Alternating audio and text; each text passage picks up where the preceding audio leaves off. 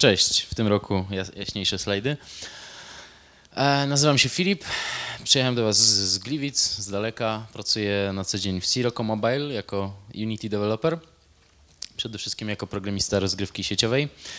Ale dzisiaj porozmawiamy o czymś e, z grubsza zupełnie innym, a mianowicie o MVVM-ie, czyli o jednym z poprawnych sposobów na implementację architektury kodów e, w Waszej warstwie interfejsu użytkownika, czyli po prostu jak, jak kodzić formatki. Całość e, tego, no, co będziemy tutaj omawiać, jest dostępna na moim publicznym GitHubie, więc oczywiście nie zdążymy wszystkiego omówić. Zachęcam do po prostu pobrania repozytorium. No ale zacznijmy od początku. MVVM, tak jak i każdy inny kawałek dobrej architektury, w moim przekonaniu musi stać na fundamentach zbudowanych z e, dependency injection. Nie chciałbym się za dużo rozwodzić nad tym tematem, bo nie mamy na to czasu, ale na chwilę się pochylę, zwłaszcza, że jeżeli korzystacie z dependency injection w Unity, to zapewne jest to Zenject. Ja za Zenjectem nie przepadam. E, korzystam z Autofaka. Jest to chyba największy, najbardziej popularny framework tego typu w C Sharpie jako takim, ale nie jest on by default gotowy do, do pracy z GameObjectami. Wymaga to minimalnego nakładu pracy. Jako, że ten nakład, y, skoro już go mamy ponieść, to możemy dodać kilka, kilka ciekawych feature'ów. E, I tak we wspomnianym repozytorium rejestracja typów, które będziemy chcieli wykorzystywać jako zależności w naszych systemach, e, może się odbyć w ten sposób. Za pomocą jednego atrybutu dla, powiedzmy, dla buildów desktopowych możemy zarejestrować nasze zależności. E, atrybut core register, który jest wykorzystywany potem przez, przez moduł refleksyjny, zapewnia nas, że ten mm, dany typ zostanie zarejestrowany w kontenerze jako instance per dependency lub jako singleton, w zależności jak to zdefiniujemy. Oczywiście za tym atrybutem stoi kawałek prostego kodu, który na starcie, na starcie włączenia naszej aplikacji przeszuka wszystkie e, wykorzystywane assembly, co, co jest bardzo ważne, ignorując błędy ładowania assembly, które wystąpią na przykład przy ładowaniu assembly Unity, ale nie, nie, są to assembly, które nas interesują, bo tam i tak nasz atrybut nie będzie zdefiniowany. Wyciągamy wszystkie typy, które, e, które potrzebujemy do, do rejestracji i rejestrujemy. Oczywiście to spełniałoby 99% przypadków użycia e, dependency injection, gdyby nie śmierdzący iOS, dzięki któremu musimy nasze typy dla buildów mobilnych rejestrować ręcznie, jak dzikie zwierzęta e, i tak e, też dodatkowo wywołując ich konstruktor. Ale przy okazji wszystkie typy rejestruję jako obiekty po kluczu z full assembly name. Dzięki temu, albo raczej przez to, że nie mamy jeszcze w C-Sharpie generycznych atrybutów, mogę w ten sposób za pomocą atrybutu core inject wstrzykiwać te obiekty bez użycia konstruktora. No, oczywiście potrzebujemy tego do wstrzykiwania zależności na komponenty Unity. Większość naszych zależności dalej będziemy roz, rozwiązywać poprzez konstruktory, no ale czasami potrzebujemy coś wstrzyknąć na komponent Unity, e, na komponent Unity tak będzie w przypadku MVVM-a. E, no za tym prosty, stoi prosty extension metod, który um, resolve my dependencies, tak, wołamy dla danego obiektu i z kontenera wstrzykujemy wszystkie pola i proporcje, które są oznaczone takim, takim atrybutem. Nic e, specjalnie ciekawego, ale oczywiście jako w momencie, kiedy programujemy obiektowo, to lubimy jak wszystko jest e, ładnie, zgrabnie ukryte i wydaje się, że, że dzieje się samo.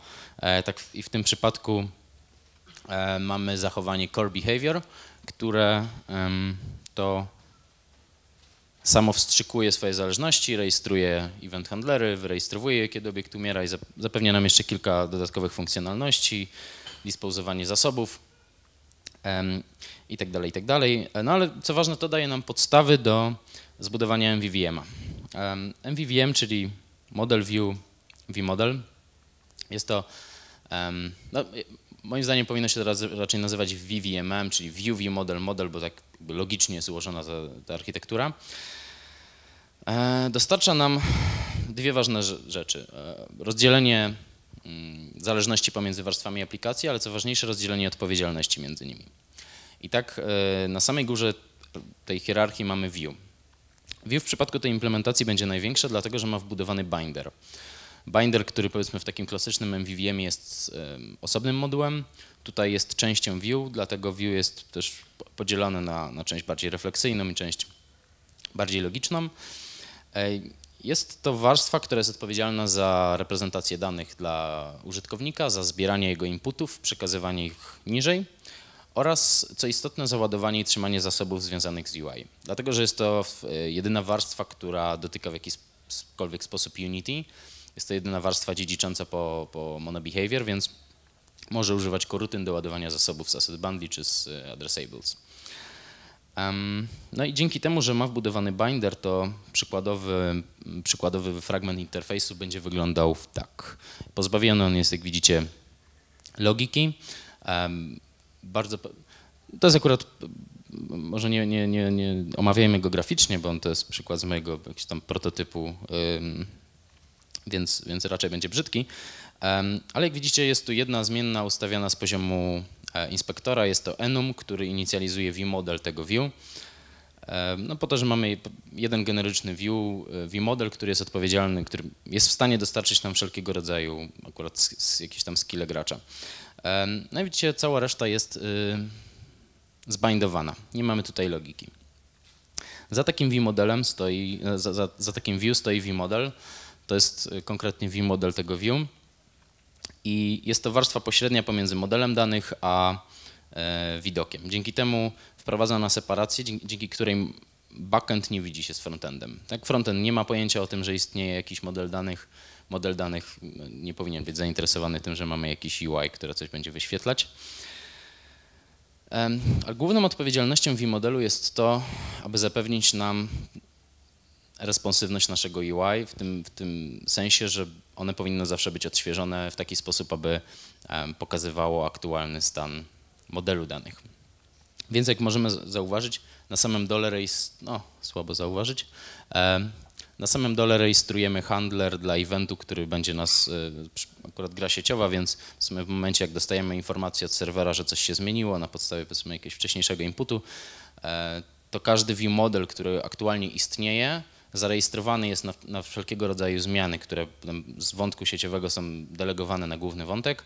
Tutaj ta warstwa pośrednia łapie te zmiany, odświeża, wywołuje Fire on Property Change, które ponownie czyta dane z modelu danych, po to, aby zostały one odświeżone na, na widoku. No i co ważne, y, każdy vModel rejestrowany będzie jako instance per dependency, dlatego że takich widoków danych może istnieć więcej naraz. To nie są obiekty bezstanowe, one mają twardy binding z, z obiektami, które istnieją na scenie. Także nie możemy jednego vModelu wykorzystywać dla, dla wielu widoków.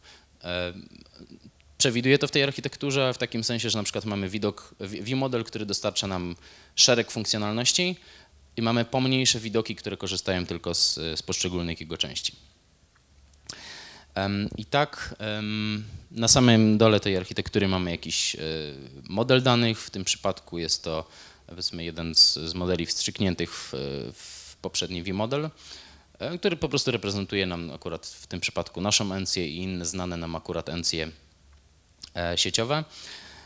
No i co jest oczywiście istotne, jest rejestrowany jako singleton, no bo nie ma innej racji bytu, model danych, który singletonem nie jest, więc nie ma tu żadnej logiki. No i ta warstwa się z, z UI nie, nie widzi, nie musimy nawet korzystać z tych samych typów. E, co jest, co jest istotne w tej architekturze, no to, to też separacja implementacji. Tak nie, jeden na przykład programista może dostarczać nam V-modele, korzystać z jakiegoś backendu tworzonego przez innego programistę. Jest to totalnie niezależne. Możemy stworzyć bardziej generyczne V-modele, z których wielu, wiele V może korzystać. No i tak przykładem, jest to przykład y, View, który jest odpowiedzialny akurat za minimapę w grze. E, jest tu powiedzmy coś w rodzaju kawałka logiki. Co by się gryzło z tym, że no jednak ten, ten widok danych tej logiki nie powinien mieć no to w tym przypadku jest to zwykłe odpalenie animacji. Tak? Jeżeli ten widok dostaje z backendu informacji o tym, że minimapa powinna zostać, powinna być widoczna, a nie jest, to odpali animację swojego własnego komponentu. Um, no i od, odwrotnie może się schowa, chowając się, kiedy powinna zostać zdesaktywowana, odpali animację chowania się.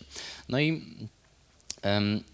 jak widzimy mamy tutaj bindingi. Mamy binding na przykład na przycisk, który nam zoomuje czy odzoomowuje minimapę. Nie mamy tutaj zdefiniowanej proporcji, która będzie nam w stanie wyłączyć ten przycisk, więc domniemamy, że zawsze będzie aktywny. No możemy sobie sprawdzić, mamy on zoom click, możemy wejść w view model, zobaczyć co ta funkcja robi.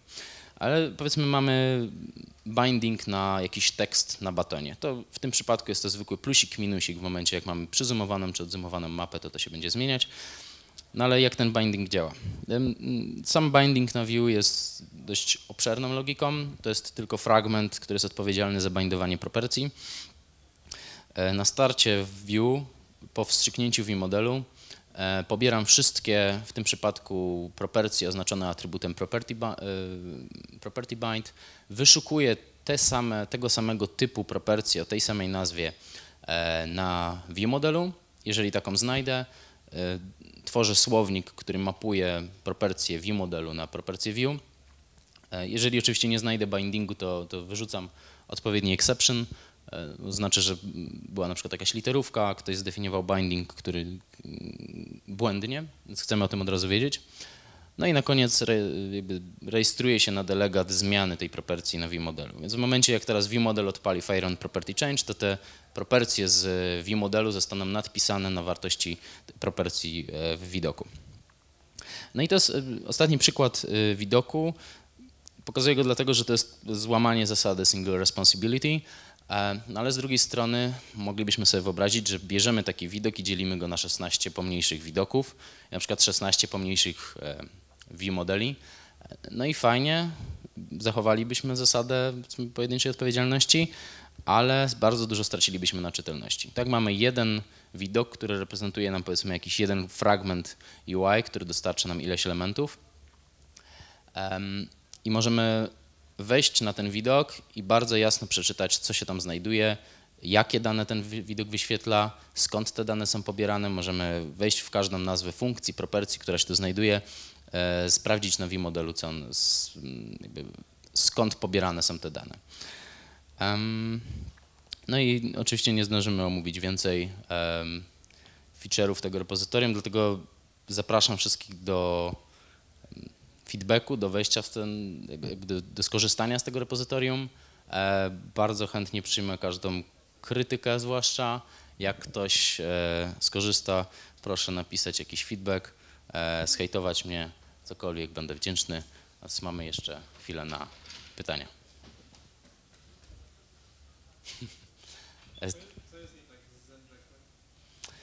Um, więc um, kiedyś się przymierzałem do Zenjecta, ale tam bodajże na poszczególnych scenach w momencie jak chcę mieć jakieś zależności, to te poszczególne sceny potrzebują jakiś rodzaj konfiguratora, który jest umieszczony na scenie, prawda? To mnie tak troszeczkę zraziło.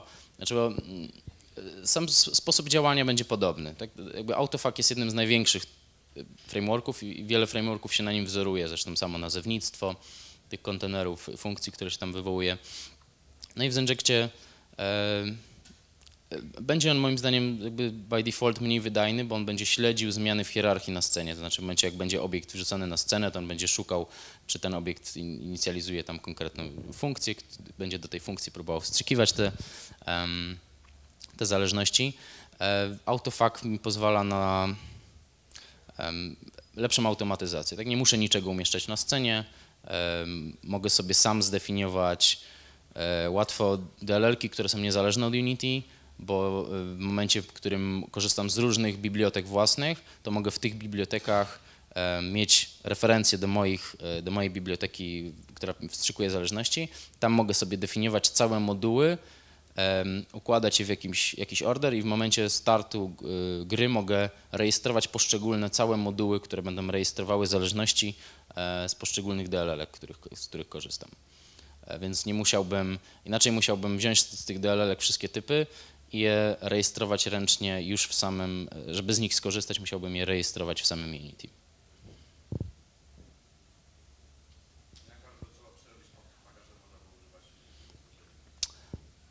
Mm, prawie cała przeróbka była tu pokazana. E, także nakład pracy jest minimalny, tu chodzi tylko o sposób, w jaki sposób chcemy wstrzykiwać obiekty. E, w Zenjectie będzie to init, który, w którym dostarczymy parametry do wstrzyknięcia, tutaj będzie to atrybut core inject. i korzystanie z zachowania core behavior, które y, samo w sobie jest moim zdaniem dobre, dlatego że ono zapewnia nam kilka, zapewnia nam pewien, pe, pewien jakby framework tego, jak ma zachowywać się e, obiekt na scenie. Oczywiście to nie będzie potrzeby wykorzystywania tego dla każdego obiektu. Zależy, jak ktoś bardzo lubi korzystać w ogóle z obiektów na scenie. E, jak, to, jak ktoś ma podejście bardziej ECS-owe, no to, e, no to jest najlepsze zastosowanie, no to jest przykład właśnie formatek i, i MVVM-a. Bo w momencie, kiedy tworzę view, to mam, core inject, mam, mam ten core inject na, na view modelu, od którego ten, ten generyczny view jest, więc ja zawsze kontener mi po prostu wstrzykuje te pole na, na obiekt, na, na komponent Unity, bo to jest, musi być narzucony na jakiś canvas, e, czy powiedzmy na jakiś, na jakiś obiekt na scenie, żeby móc coś wyświetlić, więc...